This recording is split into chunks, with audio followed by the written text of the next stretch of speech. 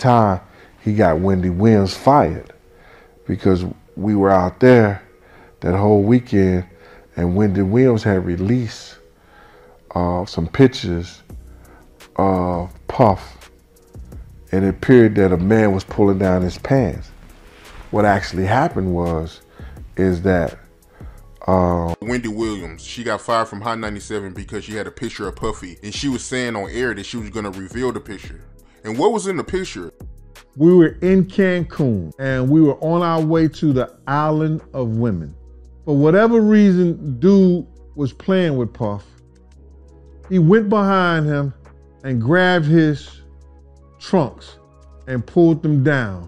Radio personality once upon a time. Her name was Wendy Williams, and uh, she was practically burned at the stake for um, talking about such. And now it's all come full circle. Know, what's worse? You know, hip hop wearing skirts or hip hop being closeted and having a plethora of kids to prove manhood that, you know, and, and denial of something that shouldn't you shouldn't have to deny. I mean, it's only expected that if you're pretending to be straight to the world, you should probably not have naked pictures of a man pulling your pants down, right? Well, let me be the first to tell you that Diddy doesn't seem to have given up on his life for quite some time now, as Wendy Williams has just taken her hot take on the rapper to a whole new level with her recent revelations. Talking about how hip-hop and homosexuality mix, the former talk show host recently opened Pandora's box on Diddy, and the blowback on the rapper is starting to get out of hand. What did Wendy reveal, you ask? Prepare to have your jaws dropped. The internet is buzzing with rumors that our beloved TV star, Wendy Williams, has a photo of two nude men circulating around.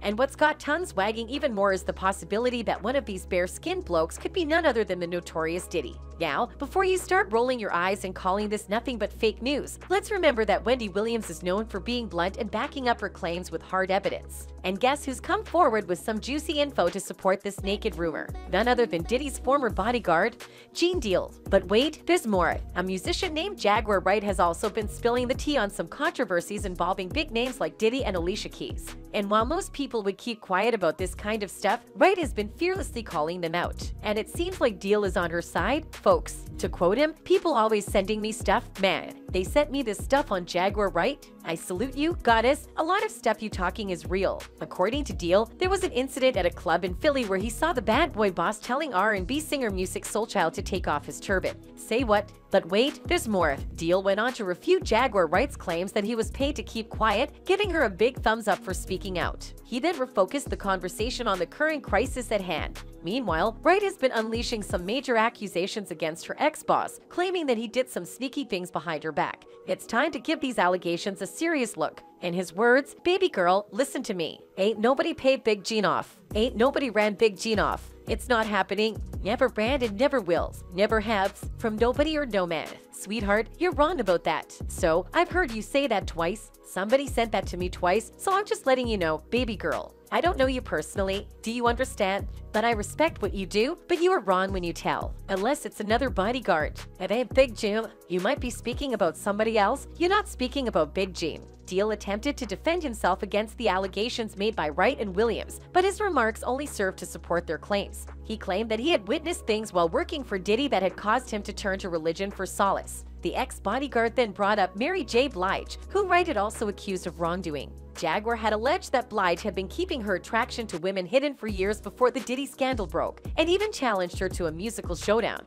Despite facing criticism from Summer Walker, Wright remained undeterred and continued to go after other celebrities. On Instagram, she issued a challenge to the queen of hip-hop soul, Mary J. Blige, insisting that Blige had been concealing her true sexuality for years. Wright refused to back down even in the face of opposition. About Mary, Jaguar said, I can produce my own songs. I can sit down with a competent mix engineer and walk all the way through a mix. I can do those things, Mary, can you? What can you do, Mary, other than playing dress up and eating snatch in dark places, hoping nobody finds out? And if I'm lying, sue me, Mary. They were my applause.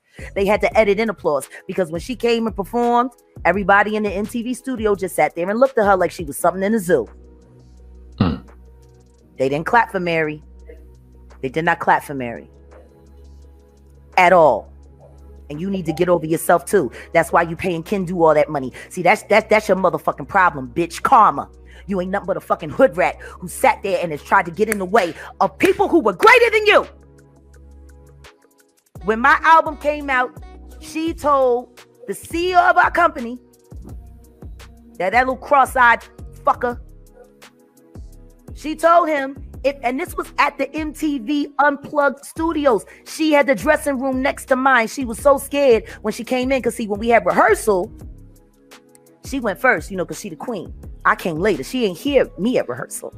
See, she didn't hear what I was coming in to do. So when she came in to MTV Studios, we were doing the run of show and I had to perform. Gene Deal continued the discussion on Jaguar Wright's accusations against Diddy in another video. He delved into Diddy's purported homosexuality and repeatedly referred to him as sexually flexible. Furthermore, Deal claimed that Diddy had accompanied Exhibit to a gay bar, insinuating that it was Deal's responsibility to monitor the bad boy CEO's interactions with other men. These claims seem to lend credibility to Wright's claims against Diddy. During the interview, Gene mentioned, I know that for a fact because I was right there. He said, Yo, Gene, watch the door and don't let nobody come through. I said I'll watch the door, and if I watch the door, he and a man ran out naked, and I said that ain't nobody told me that. I saw that myself.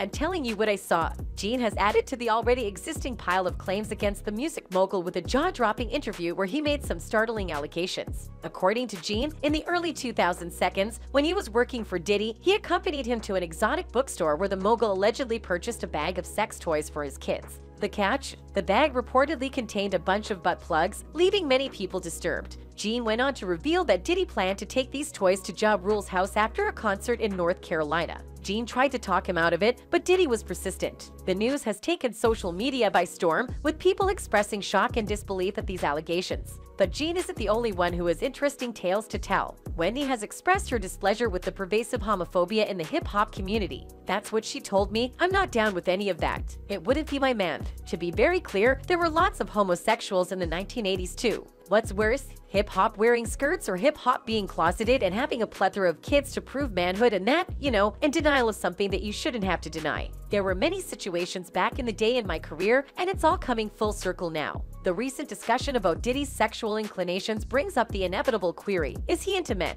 His sexuality has been a topic of gossip for a while, but he has also been romantically linked with prominent women like the deceased Kim Porter. These connections have resulted in several children, including Christian Combs, who is now pursuing a career in entertainment. Despite Diddy's repeated statements that he is not gay, his actions over the years have given off a different impression. In one recent music video featuring the rapper, his lyrics read, Sometimes I ask myself, like, you know, what is it going to take for me not to be afraid, to be loved the way? Like, I really want to be loved. Divided by, but then I know how I really want to be loved. But I'm, but I'm like scared to really, really feel that, you know, it's like you want something, but you don't know if you can handle it. Maybe one day I'll get over my fears and I'll receive. Hip hop has brought about numerous positive changes, but its prevalent homophobia has harmed American society. The genre's deeply ingrained homophobia makes it challenging for even high-profile figures like Diddy to publicly acknowledge their sexual orientation. Critics point out that anti-gay slurs are now commonplace in rap, even when enlightened rappers like J. Cole use them.